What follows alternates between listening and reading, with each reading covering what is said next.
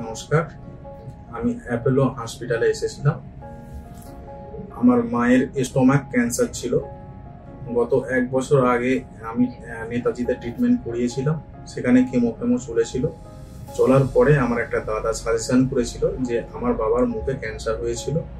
Doctor Subhajit Chakraborty স্যারকে একবার দেখাও, সাজেশন নাও। সাজেশন নিয়ে তারপরে একবার যেখানে হোক যেটা ভালো লাগবে সেখানে অপারেশন করাবে শুভজিৎ স্যারের সাজেশন নিয়ে আমার ভালো লেগেছে।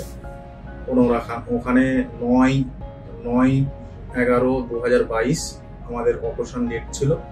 অপারেশন করার পরে ভালোভাবেই, খুবই ভালোভাবে যেটা আশা করা যায় না সেভাবেই আমাদের অপারেশন হয়েছে। অপারেশন হওয়ার পরে আমরা ডক্টর শুভজিৎ চক্রবর্তী আর তাপস কর স্যার ওনার দুজন মিলে সার্জেন মিলে করেছে। করার পরে আজকে সাত দিন পর আমরা ফলো আপে এসেছি। খুবই ভালো লাগছে।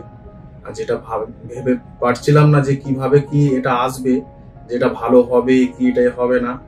উপরবেলার দয় ভালোভাবেই সাকসেসফুল হয়েছে। একদম কোনো টেনশন নেই। নমস্কার আমিও আমার ক্যান্সার হয়েছিল। আমি এখন অপারেশনের পরে খাওয়া দাওয়া করছে ট্রিটমেন্ট কোনো নর্মাল আছে। ভালো আছি।